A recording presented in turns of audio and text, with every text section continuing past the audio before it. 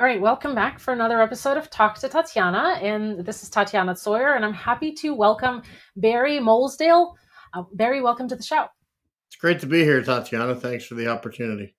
Uh, of course. Um, awesome. I love connecting with entrepreneurs. I love to connect with people who help and support entrepreneurs um, in their own way, and so um, in businesses. And so, tell tell us a little bit about who you are, what you do, where you are in the world. Sure. Uh, Barry Moulsdale. I'm actually located in a small town called Oakville, Ontario, about 20 minutes west of downtown Toronto, uh, the wonderful uh, country of Canada. Uh, I was born in Liverpool, England, and have grown up most of my life and lived in Canada. Uh, as to what do I do for a living, um, my main priority or focus or passion is probably the rest the best word is two things. One it's bringing more joy to people's work lives and doing that through building tomorrow's leaders in business today. And how do you do that? Uh, we are an executive leadership coaching organization that also offers support for executives in transition it actually started about 15 years ago uh, as a proper business consulting company, which led me into numerous different organizations that had specific types of business challenges. And uh, I was in and had experience in relatable industries and companies. So as that evolved, uh, I would often find myself, you know, solving problems that companies had for them, which may have led to future employment with the company to see it further implemented. Um, but pre COVID, I sort of pivoted my priority, if you will, because I have had an executive coach of my own for the last 12 to 13 years. And before COVID happened, I started to think about how do I take the success and the enjoyment and the culture improvement, which led to really good business results in organizations I worked in and for, and how do I expand that to affect a broader audience? And then as COVID hit, it really came to the realization for me that we're taking a much more reflective look upon the importance of work in our lives. And if we're going to do what we do, we should really enjoy the people we work with. We should really enjoy the culture that companies are creating. And I'm a huge proponent that people come first and if you get the right culture and you get the right leadership approach, the results will take care of themselves versus being result focused and talking the talk, but not necessarily walking the walk in terms of how important people are to an organization's success. So I, I work closely with my executive coach. I figured out through a lot of exercises what really was my passion. Um, and then I went out and got my coaching certifications and a number of different intellectual properties that I utilize. I formed uh, what I would define as, you know, an organizational and an individual coaching syllabus that I follow. And I've been reaching out to people in my network and not within my network just to really understand what are their needs, how can I help them, and and really for me it's the intrinsic satisfaction of seeing that awakening that a lot of leaders go through based on or a comparison to what they may necessarily have been aware of before our engagements. And so how um, what do you what would you say is the kind of the most frequent mindset shift that you um, that your clients experience? What would you say is the belief or uh, maybe something that they come to you and they change after working with you for some time. Well if i mean if it's more than one thing absolutely share that too. No that, that's a great question. And I, and I think the challenge in leadership is two things. One we don't really ever go to school for it right? We learn a lot of iq skills in high school. We refine them with a specific potential career direction when we go to postgraduate you know university you know, and depending on the area of expertise, we go even further down that road with an MBA or specific types of schooling. But as I find and talk to numerous managers who do it for the first time or those that have done it for a number of years, unless you're at a very high senior executive level companies don't necessarily tend to invest in their high performing opportunity leaders of tomorrow right you always hear of and i was i was opportunistically beneficial to this you often hear of companies looking at their corporate executive leadership and finding third party companies or third party schooling with which they can send them to refine and improve those EQ and leadership skills with the hope or intention that it cascades down into the organization. But what I find is it doesn't. And and the the director level and the manager level and all of those types of people who have aspiration to get to that corporate level, it's often only based on results they can put on the board and or the office politics that they may generally tend to play. So the challenge for me with clients is that self-awareness.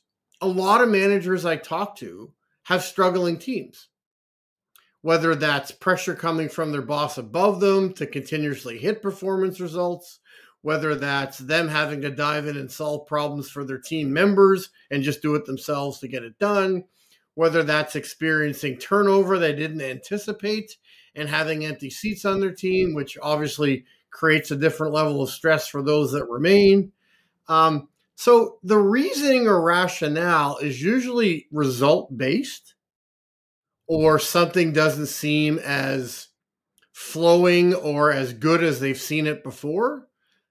But the realization that people go through once we talk and connect is not that there's any flaw or issue that are causing these results, but the realization they go through is maybe it's actually not the team that I have and it's something I could do better.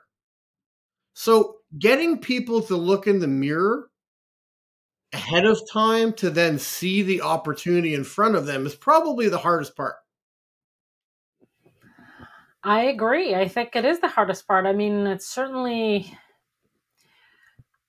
and I don't know if that's the case. This is just my uh, my thoughts um, that oftentimes people get to be to grow in the corporate ranks um, and grow to into sort of leadership positions because they're a little bit more uh, I mean, I'm kind of giving here a psychological diagnosis term, but it's really not narcissistic, and that you know there is narcissistic qualities, which is great.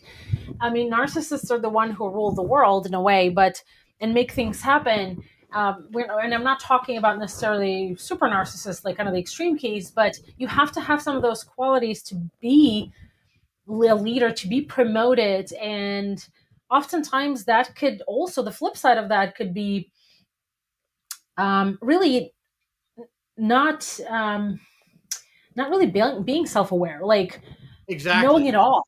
And it's funny you say that because, you know, there's almost a dichotomy at work there, right? Those that play the corporate game and socialize corporately up and make want to make themselves seen and present, whether it's in conversation, in meetings, in social settings that are created for them in a corporate environment, there are those that are better playing the game and self promoting. And there's nothing wrong with that, right? You want to get seen, you want to get noticed, right? But conversely, it's those that sign up to do the extra work or to take on the projects because they are generally motivated by the success of the company and their peers and everybody around them. And those are people are the furthest thing from narcissists. And, and ironically, when those quote unquote more narcissistic or self centered people get those promotions, they get to what I would define as that glass ceiling in the capability to go further. And that's really because, and again, it's not a generality, but it's a observation honed over multiple years for both of us, right? They lack that self awareness or EQ to be able to relate to and understand others and put themselves in other people's shoes. Yeah, absolutely. And uh, I think for me, the hardest part when working with clients who have the most potential to be the leaders that they want to be or they never thought they never thought they could be, um, but now they see that kind of a, as a, as an opportunity, as a possibility, I guess. the hardest part is having them look in the mirror and admit that they don't know everything. For it, for me, I mean, I'm certainly, I certainly have narcissistic traits, uh, and I certainly, you know, be, well, some more than others, but I certainly have my share. But at the same time, as soon as I uh, catch myself thinking I know everything, I bring myself back to say I don't know anything, and that's the for I, what I found is that to be a better position when working with clients, when mm-hmm. when talking to other people.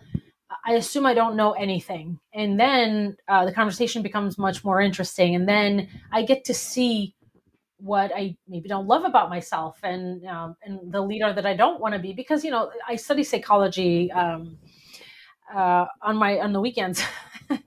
And what I a part of it is when something triggers you right they teach you in psychology when something triggers you some another person doing X Y and Z or saying X Y and Z that means that there is a reflection of that inside of you.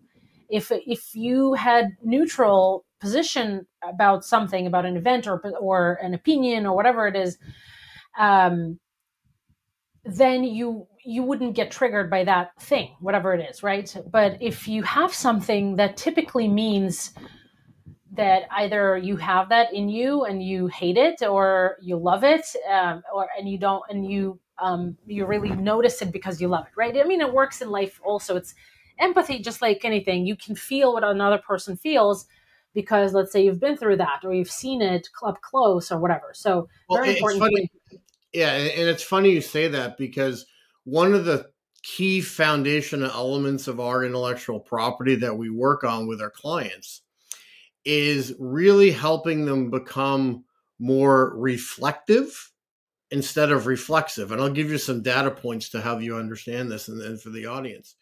Uh, 95% of people when asked straight up, do you see yourself as a reflexive leader or a reflective leader, meaning they're more thinking and more supportive? 95% of them will answer reflectively slash servant, if you will, because they want to be perceived as that and they're aspiring to be that. However, when we work with these clients, myself and other coaches who use the same syllabus and intellectual property, 99% of the people that we videotape for the very first time in their very first role play all fail a very simple business scenario of them talking to one of their employees. In a role play in a safe environment in a school or training environment they all fail it the first time or 99% i've only ever seen two videos in all the ones that i have access to in this company's database of people that got it right the first time. And that's what we really describe as people don't have or they have an unconscious incompetence to thinking they do things one way when and ultimately they don't. And it's the role playing that makes this become a conscious incompetence because now they've done it and they've seen the tape and they go, oh my God, I had no idea. I'm like, yes. And if you had no idea in a training environment, you're not reflecting upon your behavior and you have no idea you're actually doing it to solve problems and get them off your plate versus reflectively, and you mentioned it before, psychologically, coming to a conversation without the presumption or intention to be right. Most people go into a meeting, let's call it, you know, sales versus operations, which is a classic, right? The sales leader comes into a meeting and all, ultimately the customer frustration he's going to blame on operations. Operations is going to come into that meeting with lots of data points and lots of emails and lots of facts and they want to point the finger at sales. And it's never productive. Yeah. and you never come out of it with a harmonious approach or an action plan that people are going to own, own jointly. So what we teach people is how to structure conversation whether it's with your your team members, whether it's with your manager up, whether it's cross functional across different teams.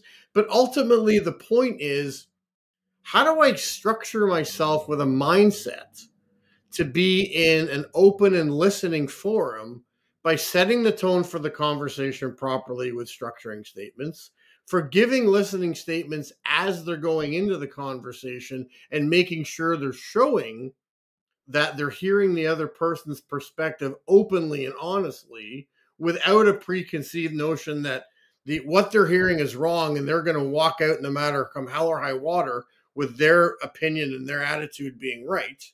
And then ultimately respectfully not necessarily assuming the other person is right but giving data to make sure that they are heard as well and then coming to a mutual agreement. Now in theory that sounds simple and most people probably think they do it each and every day but the reality is is that they don't so it's really having people offer us trust and offer that awareness in self that, hey, you know what? Leadership is a skill, it's a muscle.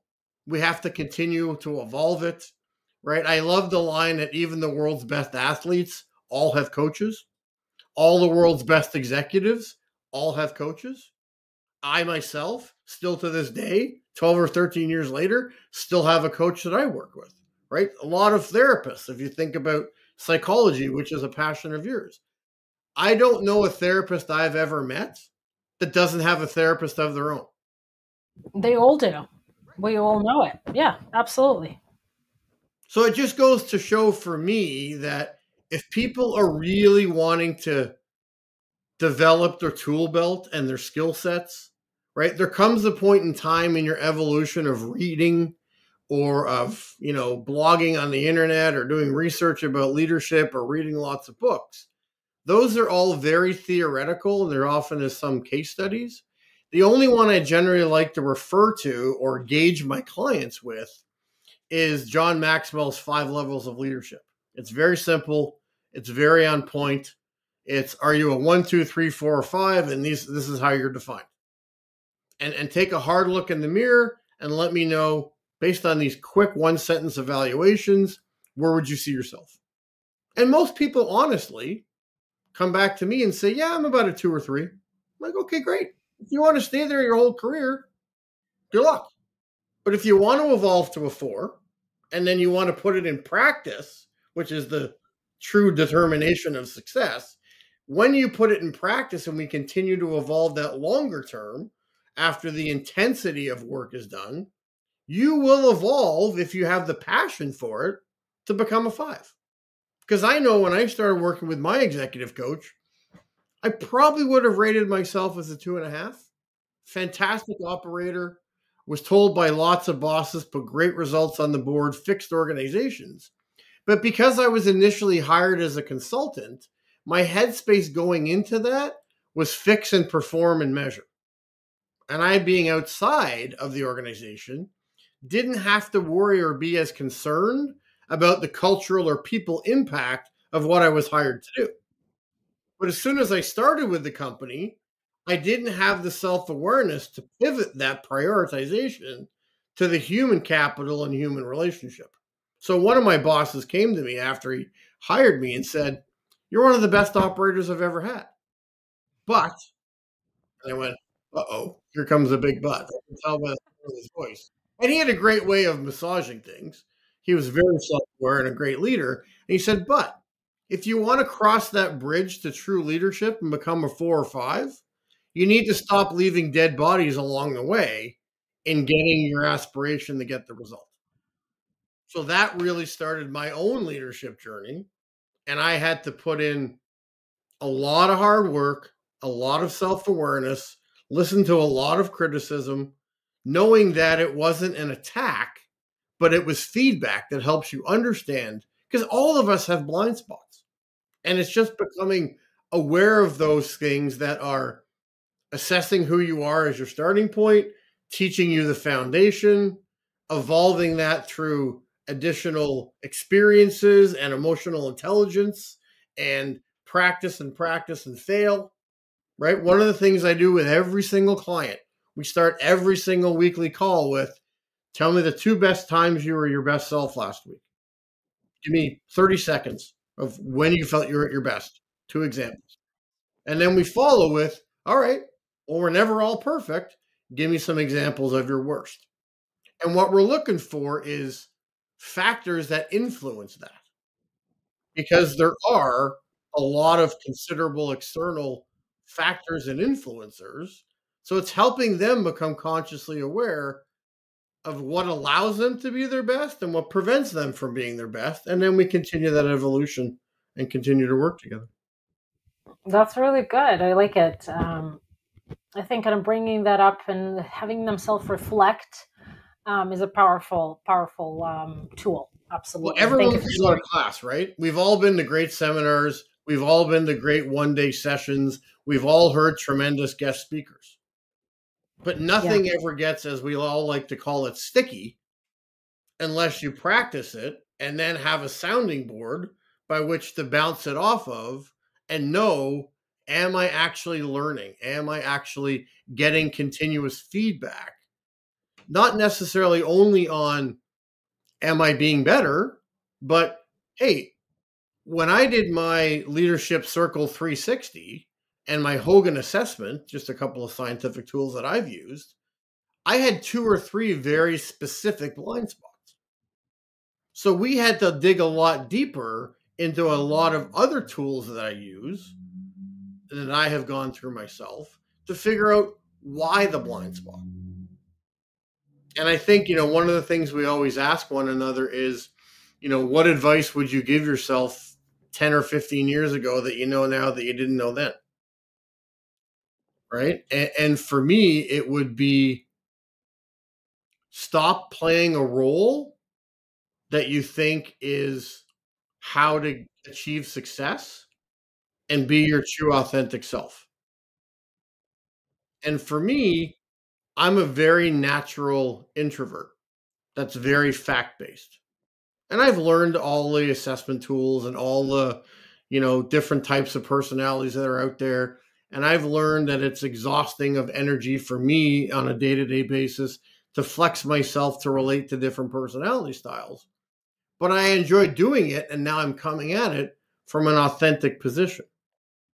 Before, I used to go into the office or go into a client, and literally I could feel myself the moment I walked in the front door, almost putting on a hat and playing a role that I thought the audience wanted me to play or that I needed to play to be a little bit more gregarious, to be a little bit more outgoing, to be a bit more a lot more conversational because introverts are perceived as being lesser than.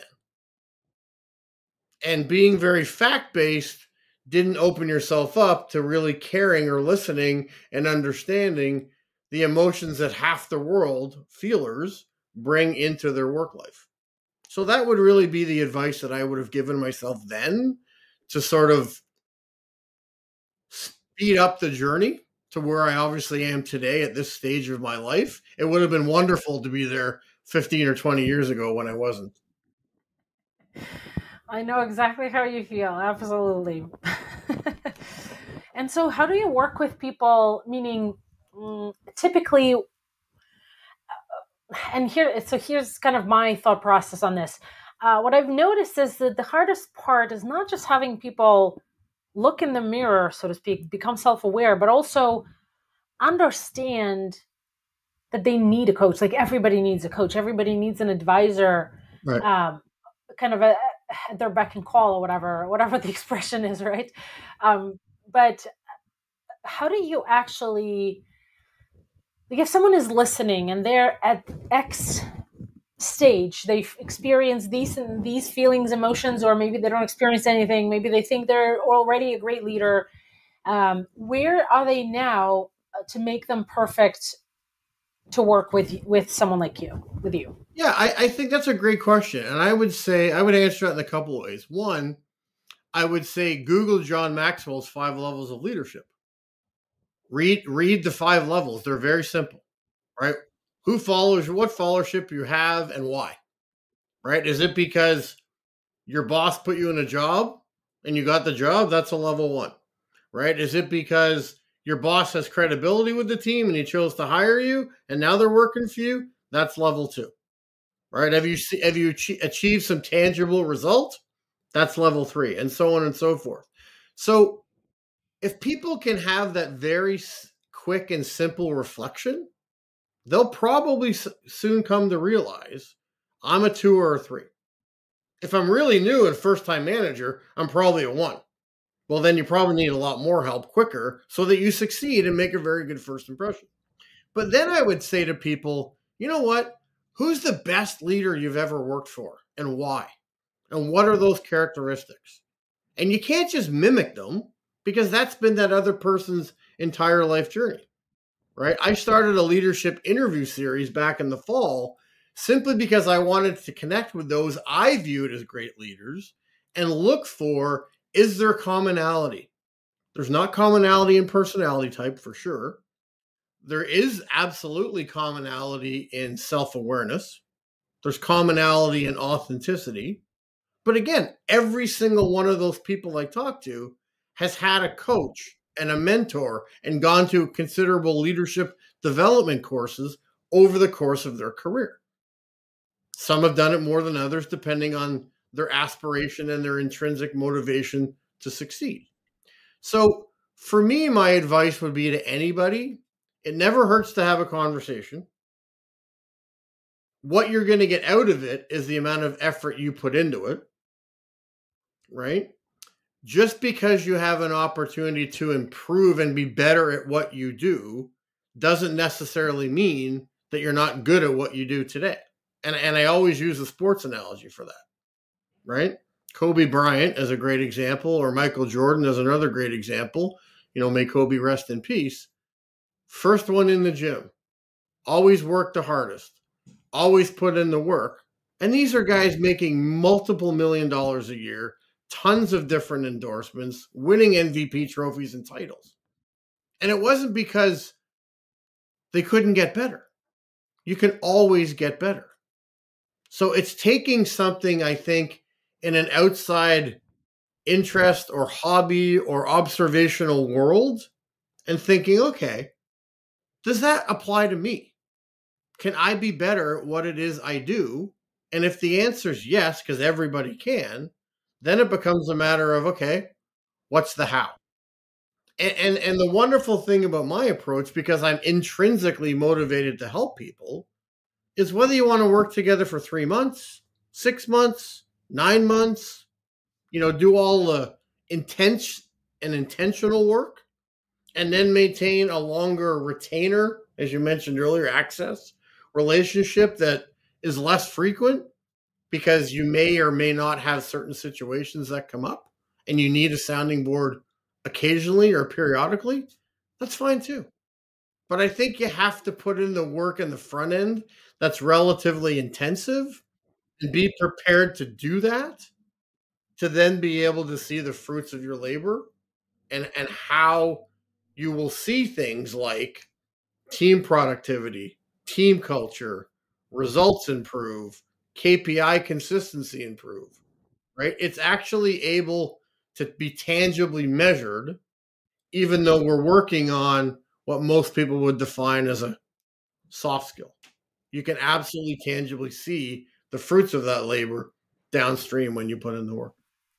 Yeah, absolutely. Well, Barry, um, it's been really a pleasure to listen to you share um, these leadership uh, nuggets. Um, I think there that people listening definitely took something away, took a few things away, and and I think even if someone listening is working for somebody else, I think leadership is a thing that it doesn't really matter what you do. It doesn't even matter if you're in a leadership position. You can exactly. be like somebody who's in a work a workhorse or whatever, right? And if you treat it as with the with that leadership attitude, I think it's uh, it's important, and I've certainly seen it happen. Uh, my my husband is that way. He's intrinsically a leader, and um, even though he works as a project manager, it's still and he could have been much more than that. Uh, the title doesn't matter to him. What matters is um, having a certain routine, but also treating others with respect and treating others how he would like to be treated as well. And and, and it and it um, sounds simple. It's funny you say that, right? My first leadership role was at eight years old when I was named the captain of the first soccer team I ever played for. Nice. So I guess in theory, I've been doing this for the majority of my life, but didn't know it. Yeah. right? But to your point, leaders come in all different shapes or sizes, and nothing of leadership should ever relate to a title or a role or a responsibility that you have. It's really about self improvement and contributing in any way, shape, or form you can to your own intrinsic satisfaction, your own intrinsic development. And again, as I mentioned off the top, I love bringing joy to people's work lives. We do it eight or 10 or 12 hours a day. You know, the pandemic woke us up to do we really love what we're doing and should we pivot more to something we enjoy even more because life is short right yeah. so you can bring joy to that environment whether you're the leader whether you're an individual contributor right whether you're an outside third party resource that people are interacting with it doesn't matter that's the beauty of the concept of leadership is to your point right being your best self each and every day yeah, exactly. Uh, well, Barry, thanks so much again for being a great guest, for sharing some really golden nuggets. How can people um, find you, connect with you, and um, potentially engage with you in your business? What's the best way? Lots of different ways. I got a pretty unique last name, so I'm easy to find on LinkedIn. We have a company page on LinkedIn, Anfield Business Consultants. Also have uh, Baz2343 handle on Instagram Anfield LC on Instagram. Obviously, I'm available on Facebook. We have a company page on Facebook. We have a leadership group on Facebook, which is probably one of the most engaging places people can go to learn about the conversations we're always having about leadership. We have some case studies there for people to understand and reflect upon whether they, you know, click something inside of them that they can relate to similar situations. We have a number of different training guides available, but the easiest way is is just go to our website, AnfieldBusinessConsultants.com, click on the book consultation or send a message button, and that ends up in my inbox. So look forward to hearing from anyone who has any questions. And I always say to people, you never know what comes out of a conversation, just like the one you and I are having today. So it's it's often the best 15 or 30 minutes that people ultimately ever spend uh, of their valuable time. Absolutely. All right. Uh, this was Ta- Tatiana Tsoir I talked to Tatiana. And today I had a conversation with Barry Moulsdale. We talked about leadership. And next week, where I'm going to have another great episode for you. So stay tuned and I'll talk to you soon.